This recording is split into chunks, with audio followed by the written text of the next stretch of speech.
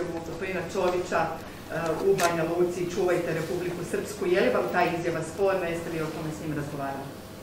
Mislim da je cijeli taj, cijela poanta njegovog posjeta tamo, mi smo se vidjeli kao što znate, kao ste obavješteni, da smo se mi susreli prije četiri dana. Uh, bila je nakon tih razgovora u Neumu, gdje naravno je poruka koju on htio poslati, poruka poštivanja Dejtonsko-Pariškog mirovnog okvira, dakle taj koncept jedna država, dva entiteta, tri konstitutivna e, naroda i s te strane ja tu nemam što dodati. Ono što je očito e, po meni sljedeći korak je to da se u te razgovore između političkih stranaka u Bosni i Hercegovini uključe predstavnici političkih stranaka Srba u Bosni i Hercegovini koji ovim, ovim razgovorima Neumu nisu sudjelovali.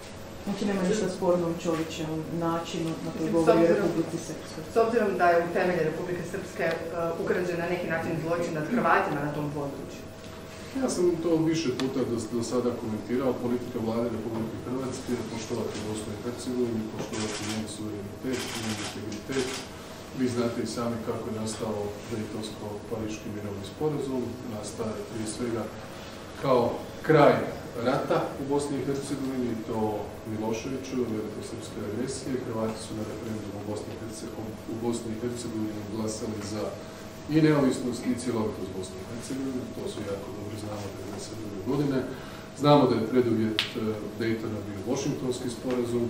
U Washingtonskom sporazumu, da podsjetimo još jednom, e, tadašnja e, Hrvatska Republika Herceg Bosna je biti integrirana sa onim što je bio dio nekadašnje Republike Bosne i Hercegovine, bio je ključni preduvjet pa i doprinos i Hrvata u Bosni i Hercegovini i Hrvatske i predsjednika Tuđmana da Bosna i Hercegovina opstane. Dakle, imamo jedan sporazum koji je bio, hajde, možemo to slobodno tako reći, evolucija. Sporazum o prekidu vatre, koji je postao mirovni sporazum, onda postao i Ustav Bosne i Hercegovine. To u jednom trokoraku, sada 27 godina kasnije, je temelj na kojem zemlja funkcionira.